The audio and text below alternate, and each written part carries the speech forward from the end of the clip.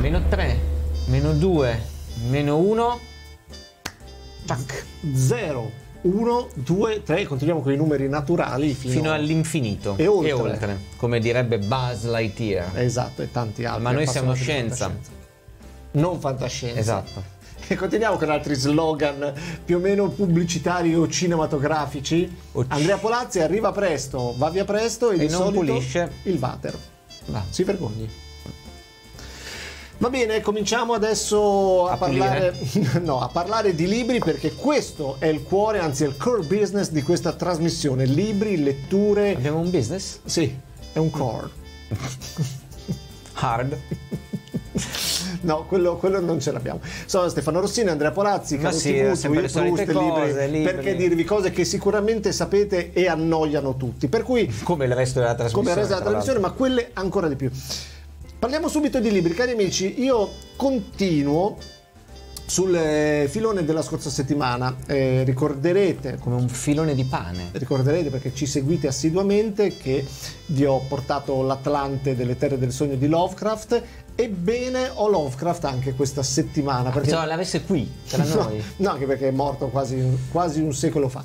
Ehm, perché in questo periodo si vede che il, il nostro caro autore di Providence sta riscuotendo una nuova fortuna e sono tante le eh, edizioni, ricordo che qualcosa ho portato anche nei mesi scorsi di ristampe di racconti e soprattutto nuove, nuove edizioni sempre più curate, ricordiamo, così apriamo una brevissima parentesi, Apra. che eh, Lovecraft arrivò in Italia come autore un po', un po' snobbato e poco, eh, poco apprezzato, con un pubblico di nicchia, ma negli anni questo pubblico è cresciuto e oggi davvero eh, possiamo considerare ehm, Lovecraft come uno dei grandi autori che ha plasmato l'immaginario di questo, di questo nostro secolo, molto apprezzato in tutto il mondo e ha avuto diciamo eh, un... um, un effetto davvero seminale su tanti altri autori di cinema, libri, eccetera. Ma ci sono ancora libri che non ha letto di Lovecraft?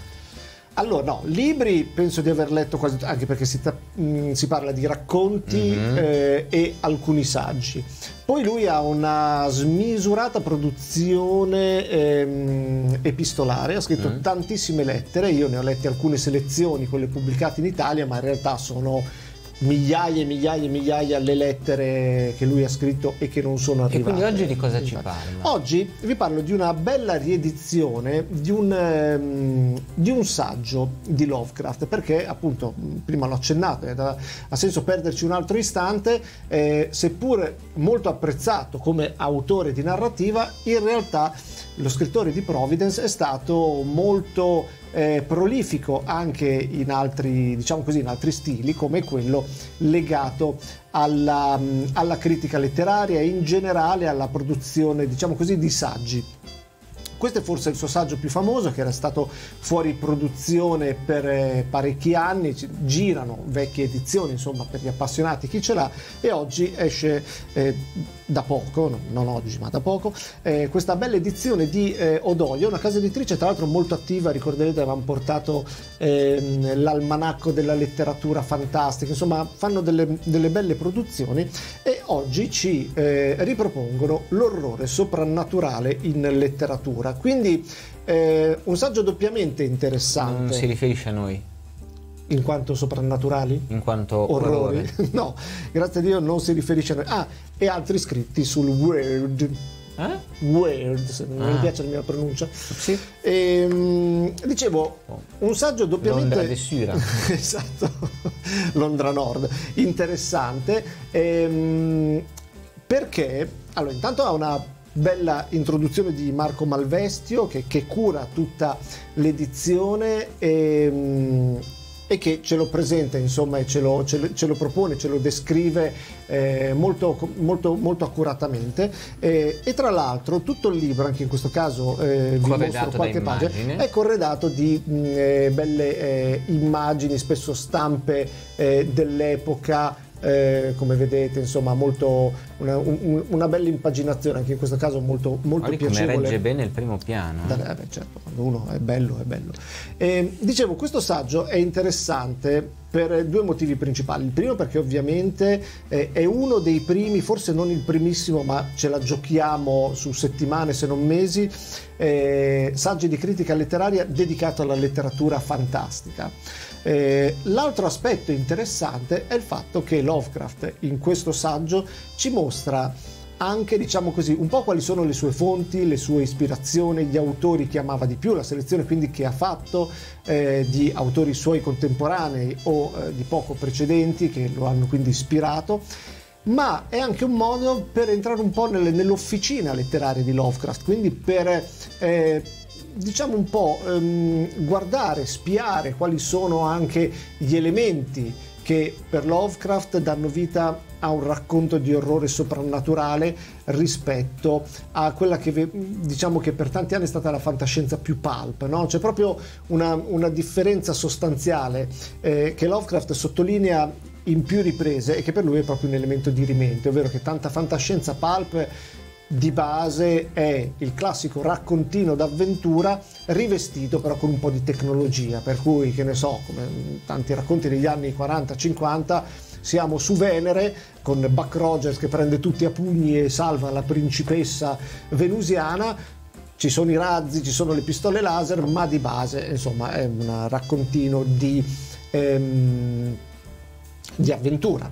Mentre invece l'orrore soprannaturale ha proprio ehm, un aspetto particolare che è quello di mostrare all'uomo l'ignoto di fronte a sé e la paura che questo ignoto causa. Quindi paradossalmente in questi racconti non deve esserci per forza l'avventura e l'uomo non deve essere neanche il protagonista perché si trova in un cosmo più grande di lui in cui in qualche modo è una, è una pedina o comunque è un, un essere estremamente inconsapevole. Vi leggo solo la, mm, le prime righe proprio due, due righe eh, mm. di può, eh, da casa può leggere due righe? Sì, di introduzione eh, di questo saggio di Lovecraft che dice l'emozione No, no.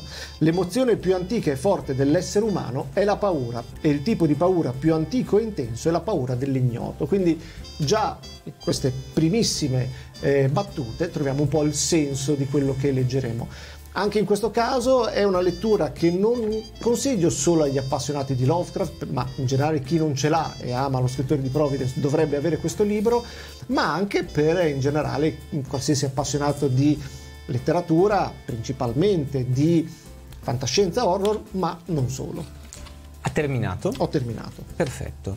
Io parlo di un libro invece molto datato, ma che ho letto solo recentemente. Atto d'amore di Joe Lansdale. Ah, Lansdale. Questo è il suo primo romanzo, sono andata a ricercare la data di pubblicazione, prima edizione 1981, Atto d'amore e parto dalla fine, cioè non dalla fine del romanzo, ma dal fatto che nella postfazione lo stesso Lansdale, questa è un'edizione eh, recente, edizione Einaudi, eh, racconta la genesi di questo, di questo romanzo, quante case editrici glielo hanno rifiutato perché ritenuto non all'altezza o eccessivo da altri punti di vista, fino a trovare poi invece la possibilità della pubblicazione. Da qui in avanti è, un autore, è stato un autore molto prolifico. Lansdale aveva 27 anni quando ha pubblicato questo, eh, questo romanzo, Atto d'amore, romanzo, diciamo proprio un thriller molto cupo, molto duro, ambientato eh, nel, negli anni 80, all'inizio degli anni 80, poi appunto l'epoca in cui esce il romanzo stesso, lungo le strade di una Houston che viene dipinta sicuramente a tinte fosche. Io devo dire la verità, ho letto altri romanzi di Lansdale, quelli magari ambientati eh, negli anni 40, agli anni 30, ne ha scritti tanti anche. Il eh, ciclo di Ape Leonard. Esatto. Ma tra l'altro con un personaggio introdotto qui che poi ritorna anche in altri romanzi eh, più avanti, quello dell'investigatore, però è un romanzo che dopo le prime dieci pagine ho pensato di chiudere perché mi incuriosiva, ma è veramente crudo nelle descrizioni anche delle efferatezze che il serial killer, a cui poi si dà la caccia lungo le pagine del romanzo, mette in atto nei confronti delle sue vittime. Tanto che poi anche, ho deciso di continuare a leggerlo perché mi piaceva la storia saltavo quando vedevo che si soffermava su alcuni dettagli un pochino più avanti. Le faceva paura come i film quando si graticcia un po'. Diciamo che il ehm, serial killer che è ribattezzato il macellaio, viene ribattezzato così dal giornale locale di Houston, compie sulle proprie vittime delle efferatezze veramente che vanno poi increscendo di vittima in vittima, diciamo con alcuni aspetti che ricordano anche l'Hannibal Lecter del silenzio degli, degli innocenti. La storia appunto è quella di queste indagini nella, in una città veramente eh, dipinta a tinte fosche. Il primo assassinio è quello di una prostituta eh, di strada. Noi eh, tra l'altro viviamo questi racconti anche dal punto di vista dello stesso killer che li rende ancora più eh, crudi da, da affrontare soprattutto leggendo quelle che sono le motivazioni che lo portano a compiere questi atti che arrivano tutto d'un colpo, cioè una persona, ovviamente non vi dico chi è, non vi dico il sesso, non vi dico nulla, che fino a quel punto in qualche modo è riuscita a nascondere, a tenere sedata in alcuni casi e nascosta appunto in altri la sua vera indole, tanto che ci sono alcuni sospetti insospettabili nel corso delle indagini.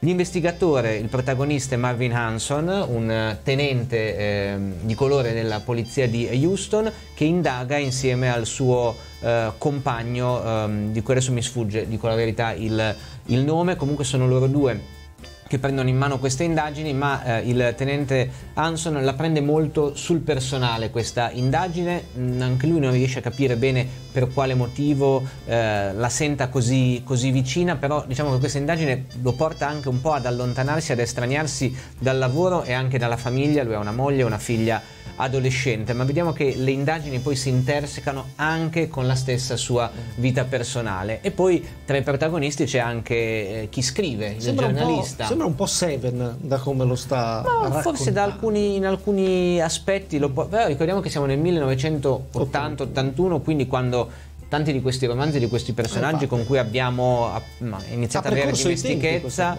eh, sono eh, non erano ancora stati mm. pensati in certo. molti casi. Comunque è un romanzo mh, mm, molto rapido da leggere, sono circa 200 pagine, non perde tempo in descrizioni, preamboli e quant'altro, i personaggi li conosciamo diciamo così direttamente sul campo, dal killer agli investigatori a tutti i personaggi di, eh, di contorno.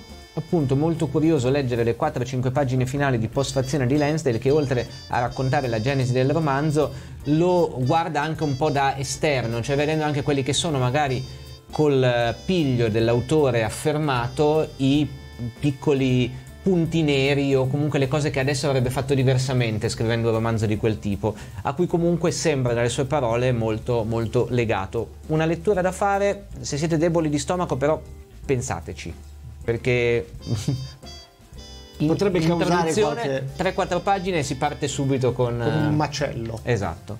Ricordo il titolo Joe, Joe R. Lansdale, Atto d'amore, il suo primo romanzo 1981. Polazzi, ogni tanto lei riesce a essere quasi interessante. Quasi però, eh. Tra l'altro, sia in questa puntata che nella scorsa ha parlato di persone sedate, di sedativi. Non so se vuol dire anche sedadavo. Sedatavo. Allora, almeno siamo in sintonia, caro Palazzo, questo è sempre piacevole. Io vi ricordo invece il libro di cui ho parlato, la nuova edizione dell'orrore soprannaturale in letteratura eh, di Lovecraft, HP Lovecraft, a cura di Marco Malvestio, edizioni Ma di chi è quel Odolia. cervello che ha rubato l'altro giorno? Quali erano le iniziali? AB qualcosa. AB cosa? AB norme. Abnormal. Ci ritroviamo la prossima settimana. Forse.